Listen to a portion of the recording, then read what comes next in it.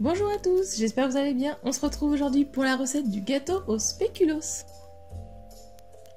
On va commencer par la base de biscuits avec 240 g de biscuits spéculoos et 100 g de beurre.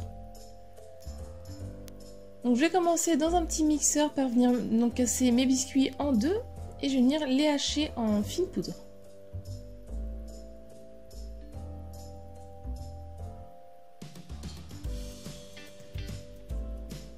Ensuite, je vais en rajouter un petit peu, vu que mon mixeur est un petit peu trop petit. J'ai fait ça en deux fois pour les mixer. Et ensuite, une fois que c'est mixé, je vais faire fondre au micro-ondes mon beurre.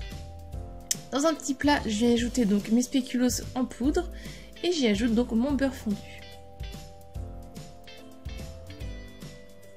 Je viens mélanger avec une cuillère pour que le beurre s'incorpore bien euh, à la poudre de spéculoos.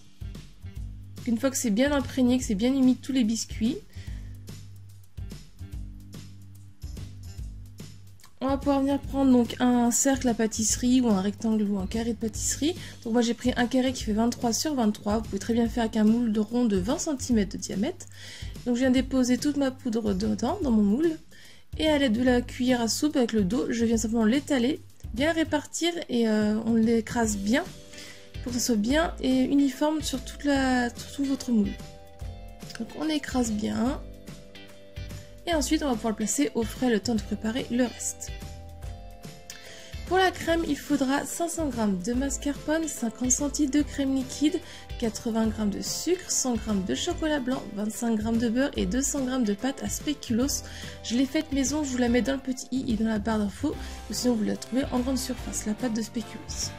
Je fais fondre au micro-ondes le chocolat blanc et le beurre, et à côté, euh, je le fais fondre un petit peu la pâte à spéculoos. Donc 20 secondes c'est suffisant pour la pâte à spéculoos, pas trop sinon elle va durcir. Une fois que c'est quasiment fondu mon chocolat blanc et beurre, je continue à le faire fondre tranquillement. Une fois que tout est bien fondu, bien lisse, on va pouvoir venir, donc euh, ensuite on va prendre un grand plat et on va venir donc verser le beurre chocolat blanc dedans et on va y verser aussi la pâte de spéculoos. Je mélange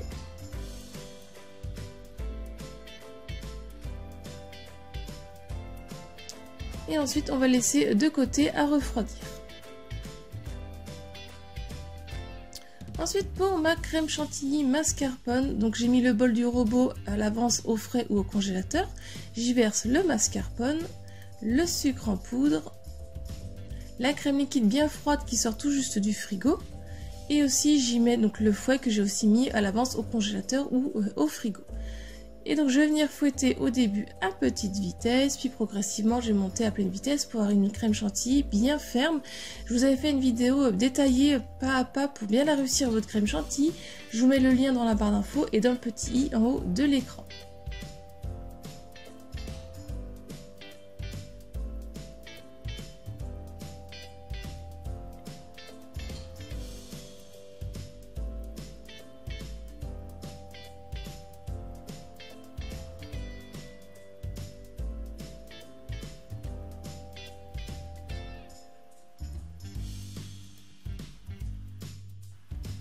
Quand votre crème est bien prise, on va pouvoir arrêter de fouetter. Donc avec la mascarpone, on obtient une chantilly bien plus ferme. Ensuite, je viens prendre donc deux autres plats et avec euh, environ en quantité, j'ai pris deux louches à chaque quantité. Donc dans, dans chaque plat, je mets deux louches environ. Et ça va nous faire nos trois mousses.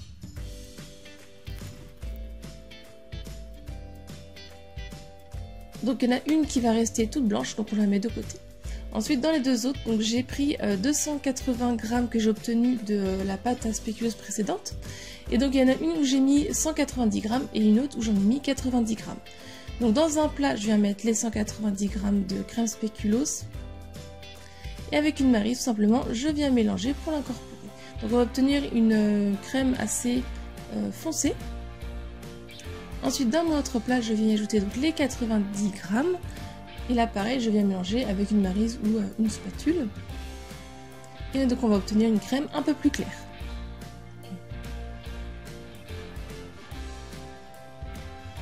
Donc voilà, celle qui est plus foncée et celle qui est un petit peu plus claire. Et la blanche. Donc on va venir prendre notre cercle à pâtisserie ou notre carré. Je viens donc déposer la première couche de crème foncée avec le dos de ma marise ou avec une spatule coudée. On vient bien l'étaler, bien la répartir sur tout le fond du moule.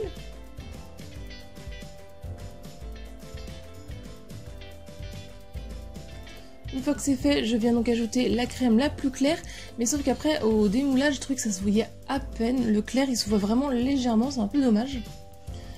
Et ensuite, je viens aussi bien la répartir. Et pour finir, on vient ajouter la blanche. Donc si vous souhaitez, vous pouvez faire foncé, blanc et la plus claire pour bien distinguer les trois couches. Si vous souhaitez, vous pouvez faire comme ça. Donc j'étale bien et pour finir, je finis de l'étaler, de le lisser à la spatule coudée.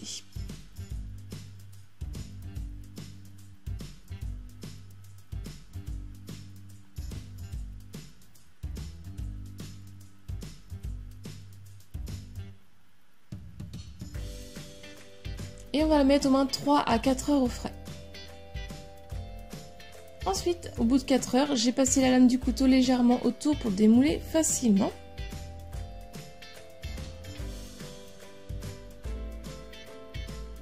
Et donc voici le résultat final du gâteau au spéculoos.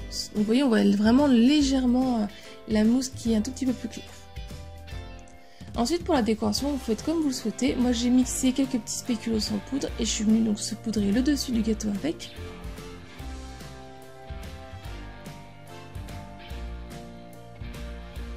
Après, j'ai pris de la pâte à spéculoos que j'ai légèrement fait fondre pour que ça soit bien liquide et avec ma cuillère, je suis venue faire donc des filets sur le dessus.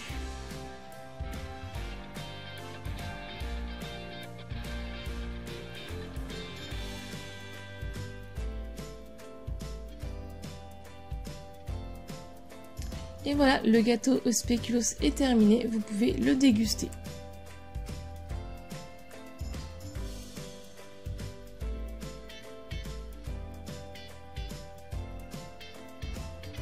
La recette est terminée, j'espère qu'elle vous a plu.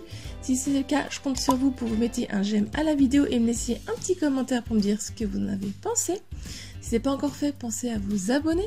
Venez aussi me rejoindre sur mes réseaux sociaux. Si vous réalisez cette recette, n'hésitez pas à me partager vos photos.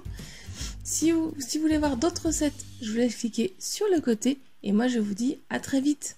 Bye